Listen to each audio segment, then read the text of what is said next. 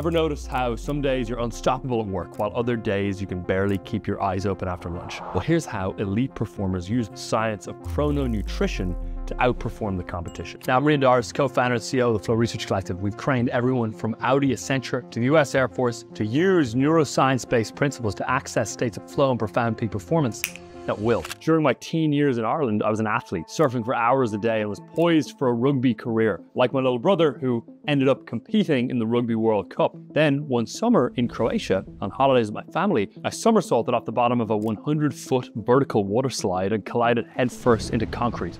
My brain and spine absorbed the impact, cushioning me just enough to keep my neck from snapping. I survived, but incurred a brutal head injury. My teen years evaporated in a blur of brain fog and bedbound fatigue.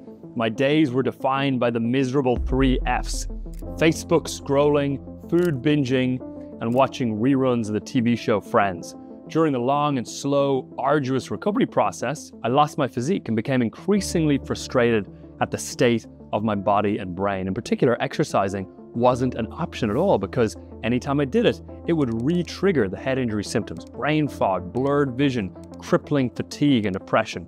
And I was examined by dozens of doctors and specialists, all weighing in with their unique approach to help me get better. Now, thankfully, I finally got better from my bedbound state and was at least able to go back to school. Then I started noticing, once back at school, this correlation between what I ate at the cafeteria and my ability to laser focus through my classes afterwards. At my school, we had a Catholic tradition called Fish Fridays. Fried piece of cod with a monstrous amount of mashed potatoes, followed by a Friday treat, usually Madeira cake and ice cream. And for whatever reason, on days when I ate meals like this, my head would fall through the desk with fatigue and brain fog in my next class. And I'm sure you can relate. You know those days when you're working away, but by noon, cravings gnaw at you. You go to the fridge and think, screw it, and decide to eat the leftover Thai food from the night before, and then bam, your focus crumbles, energy plummets, and mood flatlines. Well, this cycle of cravings, consumption, and descent into lethargy is known as lunch brain. It's the ultimate momentum killer. Now, I started to see lunch brain as just part of the business of being human. Then one day, I arrived late to the cafeteria for lunch, and almost all the food was gone except for a portion of the beef steak that was being served. So I ate that, went back to class, and boom, my cognition was dramatically clearer and more optimal through the remainder of the day at school. Now, a week later, as part of the dozens of specialists I was seeing, I had an appointment with a nutritionist. This was a guy who was absolutely convinced food was medicine and that he could cure the remaining head injury symptoms through diet alone. Unfortunately, this didn't happen. The debilitating symptoms did last for years after, but this nutritionist taught me something that has lasted to this day, which is that ideally, you have two kinds of meals in life meals that you eat for fuel and meals that you eat as part of some kind of ritual. The first type of meal has one goal to fuel your body and brain for energy, focus, and flow state. With flow state being that state of deep absorption and immersion in the task at hand, where you're in the zone, where cognition and creativity are at their peak, where we're fully absorbed in the task and we're able to produce our best work. The second type of meal suited for rituals can have many goals, from the pure pleasure of delicious food, celebration, belonging, connection with others, etc. Now, thinking back to what I was experiencing at school, I thought, wait a second, I was eating a ritual meal in the middle of the day when all I needed was fuel for focus and flow. After this nutritionist explained these two types of meals, I realized that I had been mashing them together in an unhealthy blend. Almost every bit of food I ate was for the pleasure that it gave me, since it was helping me to cope with the head injury. The problem was, it was blocking me from flow. I realized then that it's easy to think you can't get into flow because you're tired, or don't have discipline, or didn't get enough sleep. But the real problem here is there's a fundamental inconsistency that we see over and over again. Most knowledge workers claim to value focus and creativity, and yet they act like dopamine gluttons. They put craving, hunger, and boredom ahead of flow state. The reality is that you can get everything else right when it comes to flow proneness. You can have your phone off, have your calendar cleared, and be poised to focus for hours on end. But then, despite all of this preparation multiple times per day, we unintentionally block flow through the simple act of eating. And this problem is particularly bad because by default, based on evolution and the environment we live in, our bodies and brains will put food before flow. They will put calories ahead of optimal cognition. You can count on this. Our brains are wired to prioritize immediate survival needs like finding food, but modern foods hijack this ancient survival instinct, spiking dopamine and drowning out the quieter rewards of deep focus. And this mismatch between our ancient wiring and modern environment means you have to actively get your biology to work for you instead of against you. And this is the way of the workplace Olympian who puts flow ahead of food. The workplace Olympian knows that their tendency to access flow and focus for hours on end with consistent energy is massively dependent on feeding patterns. Now, what's the link between peak performance and food, and why is it so important to prioritize flow above food? Well, it's simple, and you've no doubt heard it before insulin. It turns out your blood sugar has a surprising amount to do with getting into flow state and with staying there. Imagine your brain operates like a high performance sports car in a race. Flow state is when it's zooming at full speed, perfectly navigating every turn. The fuel for this race car is glucose, the sugar derived from food. Insulin is like your pit crew, ensuring fuel gets to your brain in just the right amounts. After you eat, insulin swings into action. It helps get sugar out of your blood and into your cells where it's used for energy. You need that sugar for sharp focus, which is exactly what flow requires. But here's the catch. Too much sugar floods your system with insulin. This happens because a sudden spike in your blood sugar triggers a corrective response. Your body wants to maintain proper balance. The pancreas goes into overdrive, releasing a surge of insulin to push that excess sugar out of your blood and into cells. But this overcorrection can cause your blood sugar to crash just as quickly. Your blood sugar crashes, your engine sputters, and suddenly you're out of fuel. Flow gets compromised, and now you're just foggy and tired. There isn't research to confirm this empirically yet, but our hypothesis is this. Just as there's a psychological sweet spot for flow, there may also be a physiological one. Psychologist Mihaly Csikszentmihalyi discovered the flow channel, where a task's challenge level perfectly matches your skill level. And this leads to full engagement, deep immersion, and ultimately flow state. If the task is too easy, you'll get bored, too difficult, and you'll become anxious. We believe there could be a similar channel for blood sugar levels. Straying outside this ideal range will cause energy peaks and crashes, disrupting the mental stability and prolonged focus we need to be able to emerge into a flow state. Think of this as the blood sugar flow channel, an ideal range for peak performance. The key is finding the sweet spot for your blood sugar.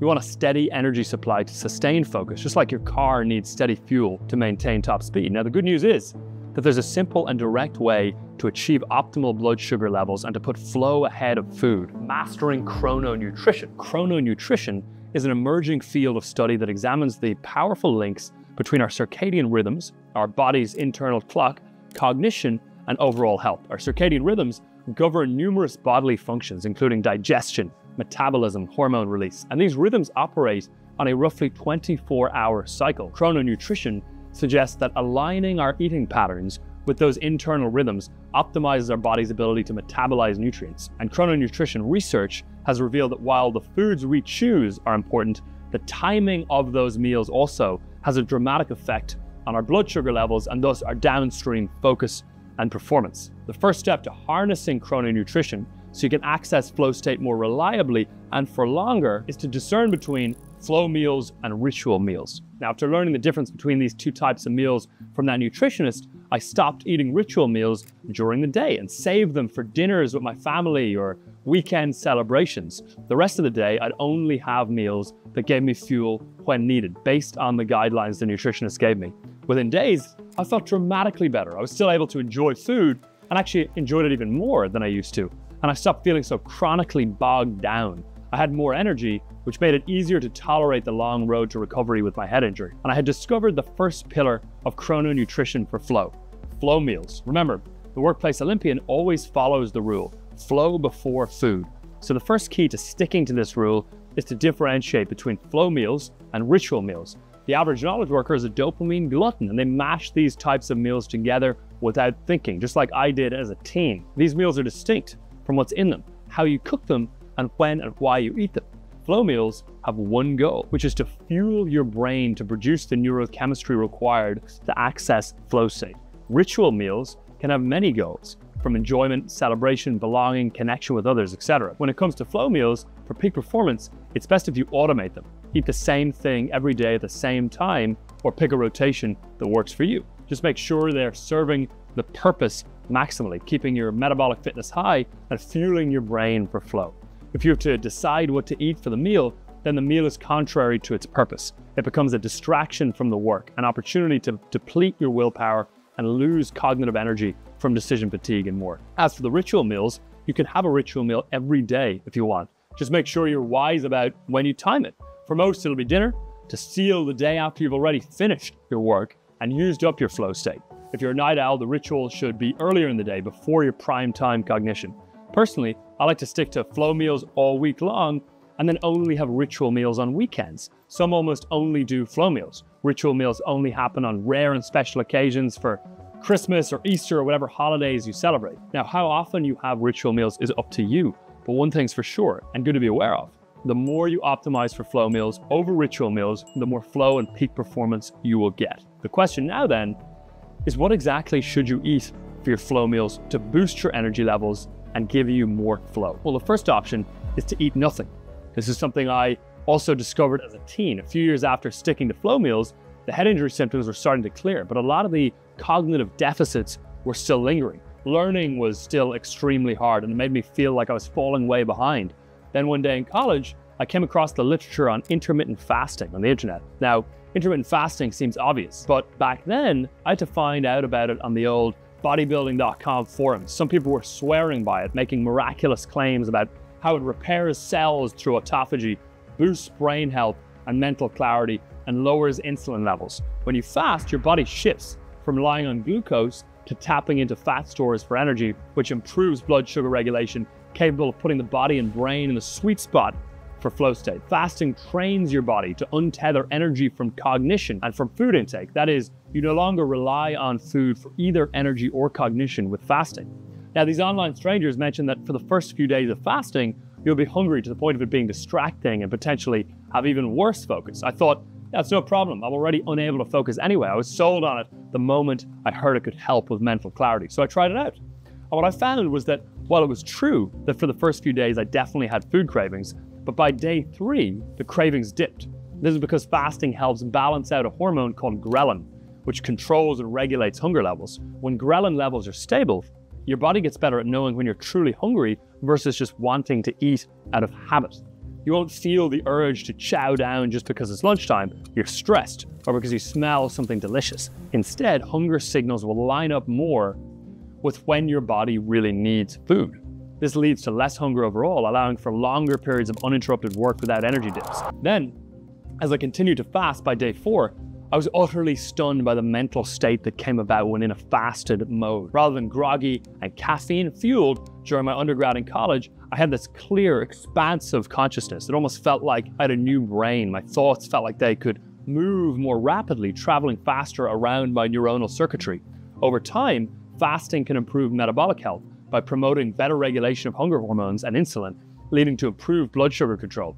You get to the point where you're metabolically fit enough for food to be necessary as a day to day energy source, but no longer necessary as an hour to hour energy source. So I had discovered the second pillar of chrononutrition for flow, and that was fasting. And from then on to this day, I practice intermittent fasting, not just for health, but primarily for peak performance and flow. And there are two main ways we suggest getting started with intermittent fasting. The first is a 24 hour fast. Once a week, choose a day to abstain from food for a full 24 hour period from dinner one day until dinner the following day. The second is time restricted fasting. This is when you consume a day's worth of calories during a 4 to 12 hour block during each 24 hour cycle, and then you fast the remaining 12 to 20 hours. A common approach is the 16 8 method, where you fast for 16 hours and eat during an 8 hour window. This also helps you to align eating times with circadian rhythms, which can help improve sleep, and overall metabolic functions. This fasting period allows insulin levels to decrease. So start maybe with an eight hour eating window, finish eating at 8 p.m., and then restart eating at noon the next day. This makes it easy to see if fasting works for you. And here's a peak performance fasting tip. To amplify the benefit of being in a fasted state, one of the simplest, most high leverage flow hacks known to man is to drink three liters of water and take 100 to 200 milligrams of caffeine and 2 to 400 milligrams of L-theanine with no food from when you wake up to about midday in a given day. This is a super easy wave of the magic wand way to drop yourself into flow state and get more done in a few hours than most do in an entire day. And it's also a nice way to show how much of a difference food or the lack thereof can make to the cognition that gets you into flow state. Now, while fasting, don't forget to take advantage of one of the only ways to get smarter in 30 seconds, which is free. And we're talking water, which is critical. Keep a one to three coffee to water ratio. Aim for clear urine and remember to get your electrolytes in as well.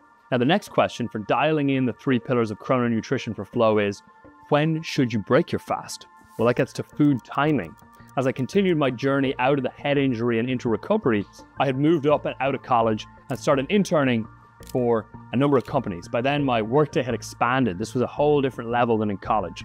While in college, when I was fasting for the first half of the day, it was easy to be super productive with that creative consciousness and effortless access to flow state. But over time, as my responsibility grew, I needed that level of consciousness for the entire day. However, by lunchtime, I would get so hungry that my focus and energy would drop. So I would eat, but it would remove the fasted state and give me the dreaded lunch brain, causing a huge dip in performance right in the middle of the day. Then one week, a friend of mine left a bunch of sirloin steaks from an event he'd put on in the fridge. The steaks all had to be eaten within the next few days. So for lunch, instead of the salad, fruit, and eggs that I'd usually eat, I did the obvious thing. I cooked up a few of the steaks. Then something strange happened, or more accurately, something didn't happen, in that I didn't feel any discernible drop in my energy levels whatsoever. I was able to plow forward with work immediately after lunch without skipping a beat, lunch brain non existent. The next day, I did the same thing.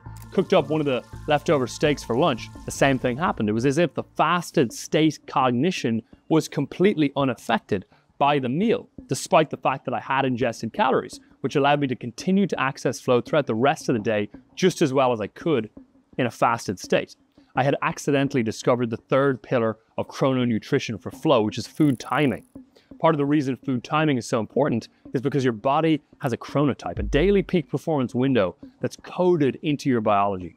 This is an internal body clock that controls when you feel most awake and when you feel tired during the day. For most people, there's a dip or a trough in energy levels around 3 p.m. To avoid feeling even more drained in the afternoon, don't eat lunch during this low energy period. Instead, have a nutritious flow meal earlier in the day when you're in your peak chronotype zone. This will help keep your energy steadier as the peak level of energy you're in, determined by your chronotype, will offset the lunch brain that you may get if you eat during a trough in your energy. So if you skip breakfast and get super hungry, you'll have no choice but to eat during your afternoon trough. That'll make you crash even harder. So fuel up at the right times to work with instead of against your chronotype. Now, after fasting, with more work still ahead of you in the day, what should you eat? Well, that brings us to finding your high flow foods. Now, first, remember the rule flow before food.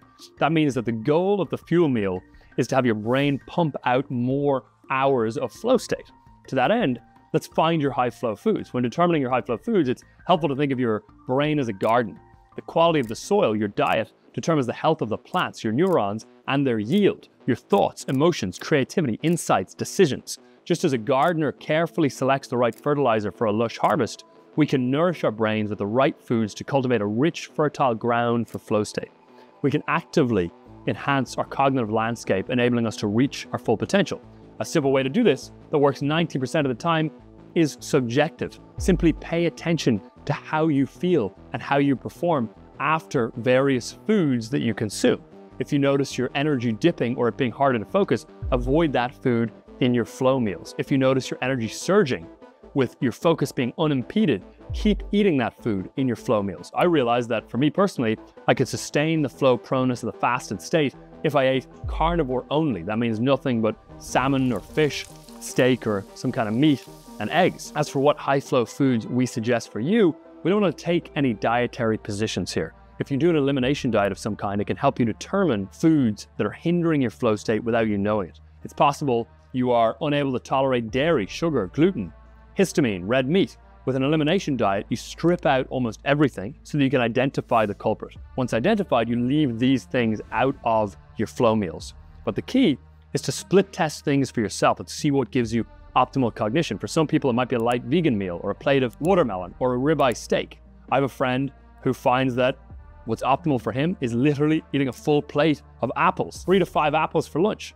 And his state is unimpeded. He can sustain flow. For me, it's eating carnivore, having a steak. For you, maybe it's salad. The point is, split test it yourself and see what food you can ingest that results in your focus being uninterrupted. For me, after realizing I could sustain the flow proneness of the fasted state, if I ate carnivore only, I realized I only needed to have a carnivore meal at lunch to sustain flow. After work, I can have carbs, down regulate from the day, regulate the nervous system, and shift gears into the evening. This transition to carbohydrates later in the day can support serotonin production, which is a nice bonus for extra relaxation too. Now, putting all of this together took 10 years, but I had pinpointed the three pillars of how to use chrononutrition for flow fasting, finding high flow foods for your flow meals, and then food timing. Now, if you're worried about your diet becoming imbalanced when eliminating foods, to identify your high flow fuel meals, you can run an N of 1 experiment to determine what ingredients should go in your flow meals. To do this, you can track your blood sugar with a continuous glucose monitor. This allows you to split test foods and actually see with data what you respond best to. It will show you what foods are driving blood sugar crashes because sometimes food isn't the cause. Stress, caffeine, or variables with exercise can be the cause, even being underslept. But don't overthink this. It's easy to become obsessed with the long tail of diet and forget the basics, the fundamentals. When this happens, it leads to nutritional neurosis. I saw a hilarious example of this with a biohacking friend of mine. He was cooking dinner once in East LA. I was over at his house and he pulled out a timer and a thermometer and started boiling broccoli sprouts. I asked him what the thermometer was for. He said, What? You, don't know? He saw my puzzled look and then said something like, Well, in order for the broccoli sprouts to activate optimal sulforaphane levels and deactivate sulforaphane nitrile, the sprouts have to be boiled to precisely 158 degrees Fahrenheit for exactly 10 minutes. Boy, was I schooled. Then, while boiling the broccoli, swallowed over a dozen pills for digestion, bile production, blood sugar regulation, prebiotics, probiotics, all the biotics you can imagine. The scene was one of stressful simultaneity, counting pills while fussing with the measuring stick while minding the temperature of the broccoli. The irony was, he hadn't slept enough the night before. He hadn't worked out in a week. He hadn't stretched or been out in nature that day. And I realized then that sometimes biohacking involves majoring in minor things. This nutritional neuroses often makes optimal health infinitely more complex than it needs to be. Instead, focus on three things the right macro intake for you, calories, and then the breakdown of fat, carbs, and protein, the right micro intake through whole foods and avoiding foods that you are intolerant to, and then finally avoiding foods that you're intolerant to or that don't make you feel good. Micronutrients come from nutrient dense foods that give your body the nourishment it needs to function optimally. To shortcut your micronutrient intake, make yourself a micro bomb. That is, make a smoothie that's absolutely loaded with micronutrients. Keep a half dozen vegetables in your freezer at all times for this purpose, but be sure to avoid common anti-nutrients like oxalates, often put in smoothies found in foods like spinach, berries, cacao, and nuts. That way, no matter what happens with the rest of your meals that day, your bases are completely covered. Now, having these three pillars in place, fasting, food timing, and high flow meals, made a world of a difference for me when I first hopped on the path of flow and peak performance. And I've distilled all three of these pillars and principles into a single printout you can use to help you master putting flow before food. To download it, just click the link in the description. Now, before I could fully realize the benefits of these three pillars of chrononutrition, there was something else I had to do first, and that was to get lean. After the food, Facebook, and friends binging misery in my teenage years, I was bogged down by all the weight that I'd gained. This excess weight was messing with my insulin sensitivity and thus throwing me out of the blood sugar sweet spot for flow. Now, common wisdom would intuitively tell you that it's better off to eat healthy food even if you're a little bit overweight. But in reality, it's not that simple. If you actually look at research around excess body fat, it can have just as much of a negative impact on your blood markers and thus health as eating unhealthy food. Now, while neither is ideal, being lean is a critical component in having good health, just as important, maybe more than actually eating clean. Now, why is this? Well, because leanness promotes flow proneness and its opposite blocks it. Particularly, excess weight exacerbates the flow blockers. Excess weight causes excess stress in the central nervous system and cognitive function, including attention, executive function, decision making, learning, and memory, all vital for tapping into and maximizing flow state. And excess weight can also block long term peak performance. Meta analyses show that obesity doubles the risk of Alzheimer's disease. Obesity in midlife predicts a greater risk of dementia in later life, which indirectly attacks the brain's ability to sustain flow state. Now, of course, I didn't know that at the time, and without an understanding of this science, my teen years were plagued with a binge diet loop. I heard from the online forums that eating eight meals a day was the best way to jack up your metabolism. So I would have these miserable little tiny meals of canned tuna and raw veggies or grilled chicken with no sauce. It was horrible. I was so hungry all the time. The diet was so strict that I was never able to eat a satisfying meal and reach any level of satiety. So I'd fall off the wagon over and over, binge eating a massive meal, feeling like crap afterwards. This was made so much worse because I couldn't exercise without exacerbating the symptoms of the head injury.